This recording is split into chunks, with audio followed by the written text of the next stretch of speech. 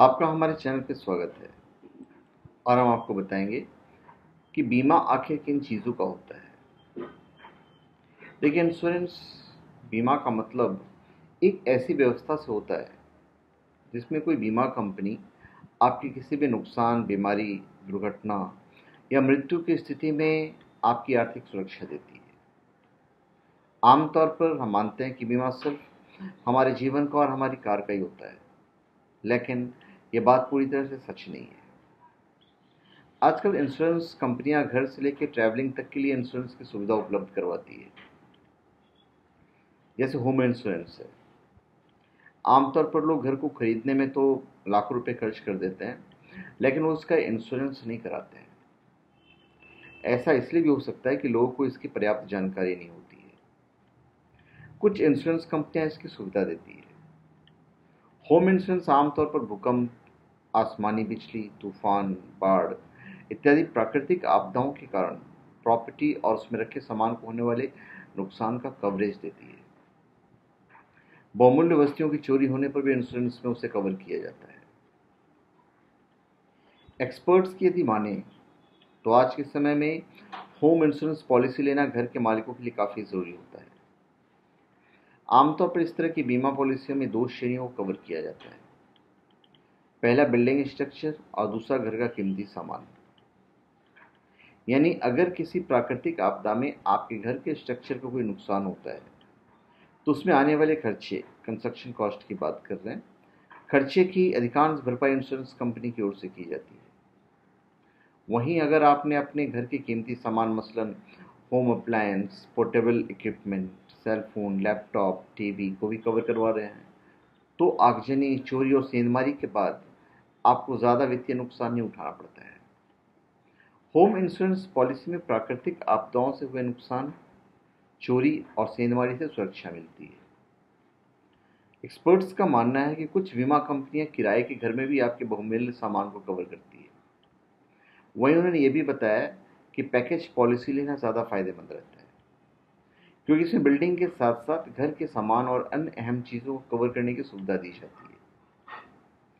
Mobile insurance तो आपको पता ही है, जब मोबाइल खरीदने जाते होंगे तो इंश्योर किया जाता है। थोड़ा सा अजीब लगता है, लेकिन मोबाइल का भी इंश्योरेंस होता है। किसी भी अन्य बीमा उत्पाद की तरह मोबाइल फ़ोन बीमा जोखिम कवर प्रदान करता है। इस तरह के मामलों में इंश्योरेंस आपको फ़ोन खोने, चोरी और नुकसान जैसी स्थितियों के लिए जोखिम कवर प्रदान करता है। इस तरह के बीमा को गैजेट खरीदने या बिलिंग के दिन से अधिकतम पाँच दिन की अवधि के भीतर खरीदा जा सकता है। इंश्योरेंस का प्रीमियम गैजेट के मूल्य पर निर्भर करता है। यह कवर पीरियड सामान्य तौर पर एक साल के लिए होता है, लेकिन बाज़ार में कुछ ऐसे बीमा करता भी हैं जो दो साल के लिए भी कवर प्रदान करते हैं। अभी इन स्थितियों में बीमा का फ़ायदा क्या होता है? एक्ट ऑफ़ गॉड होता है। हड़ताल या दंगा के दौरान नुकसान या चोरी में फ़ायदे मिलते हैं। चोरी और हाउस ब्रेकिंग के मामले में फ़ायदा मिल जाता है। आग, बिजली और विस्फोट से होने वाले नुकसान में आपको फ़ायदा मिलता है। व्यक्तिगत लापरवाही के परिणाम स्वरूप होने वाले नुकसान जैसे कि खोना, भूल जाना, भूल गए, कहीं छोड़ देना, गायब हो जाना या फिर कहीं गिर जाना। चोरी की कोशिश से होने वाली हानि। भारतीय क्षेत्र के बाहर हुआ कोई भी नुकसान जानबूझकर उपेक्षा के कारण नुकसान। गलत इंस्टॉलेशन और गलत सेटअप के कारण होने वाले नुकसान पर। साइबर हमले, आतंकवादी गतिविधियों और घृणित गतिविधियों के दौरान हुए नुकसान पर जो फ़ायदा है, वो भी आपको मिल जाता है। अब एक चीज़ हम आपको और बता देते हैं और वो ये है कि कौन कौन सी कंपनियाँ बीमा देती है।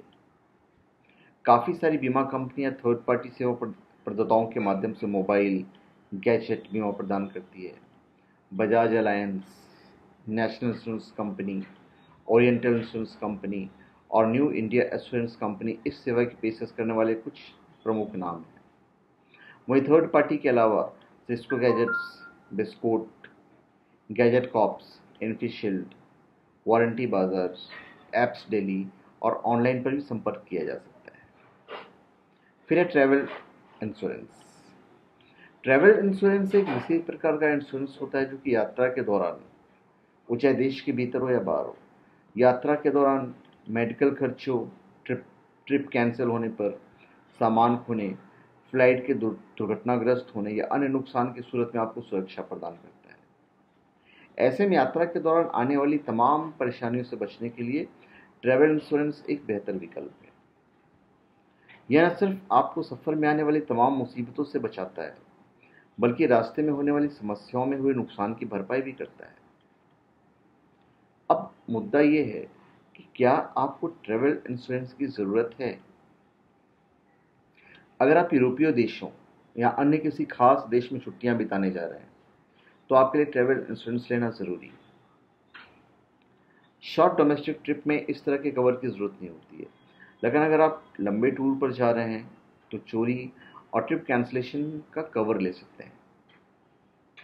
अगर आपके मौजूदा मेडिकल इंश्योरेंस में, विदेश में भी इलाज का कवर है होम इंश्योरेंस में ट्रैवलिंग के दौरान आपके सामान का बीमा है और आपके पास पर्सनल एक्सीडेंटल कवर है तो आपको ट्रैवल इंश्योरेंस लेने की ज़रूरत नहीं है। लेकिन अगर आपके पास ये सभी इंश्योरेंस नहीं है तो फिर आप ट्रैवल इंश्योरेंस लीजिए।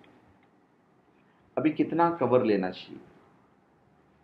यदि आप जानकारी की माने तो ये आपकी ट्रैवल कॉस्ट का चार से आठ फ़ीसदी होना चाहिए। इंश्योरेंस कंपनियाँ आमतौर पर कई कैटेगरी के तहत फिक्स्ड ऑप्शन देती है। इसकी रेंज पंद्रह हज़ार से लेकर, पंद्रह हज़ार से लेकर पचास हज़ार डॉलर तक होती है। जो यात्रा की अवधि बेनिफिट्स और ट्रैवल से जुड़े एरिया पर निर्भर करती है। अभी आवेदन कब करना चाहिए वो भी मैं आपको बता देता हूँ। ट्रैवल इंश्योरेंस पॉलिसी की अवधि बढ़ाने के लिए आवेदक मौजूदा ट्रैवल पॉलिसी की कवरेज समाप्त होने से पहले किया जाना चाहिए। मौजूदा पॉलिसी की अवधि समाप्त होने से सात से दस दिन पहले एक्सटेंशन करवाना बेहतर रहता है। इतना ही नहीं, पॉलिसी होल्डर इसे यात्रा के दौरान भी एक्सटेंड करा सकते हैं। इसके लिए उसे केवल इंटरनेट कनेक्शन की ज़रूरत होती है। फ़ायदे जो हैं, वो भी बहुत अच्छे खासे हैं। यात्रा के दौरान अगर किसी की आकस्मिक मृत्यु हो जाती है तो उस स्थिति में भी ट्रेवल इंश्योरेंस की पॉलिसी में तय कवरेज के हिसाब से आपके परिजनों को मिलती है। ट्रेवल इंश्योरेंस के कई प्रकार होते हैं। डोमेस्टिक ट्रेवल इंश्योरेंस अंतर्राष्ट्रीय यात्रा बीमा कॉरपोरेट ट्रैवल इंश्योरेंस छात्र यात्रा बीमा, वरिष्ठ नागरिक यात्रा बीमा, परिवार यात्रा बीमा। सबका अपना अपना फ़ायदा है। तो धन्यवाद। आपका हमारे चैनल पर स्वागत है। आप हमारे चैनल पर सब्सक्राइब करें और अपने कमेंट दीजिए। धन्यवाद।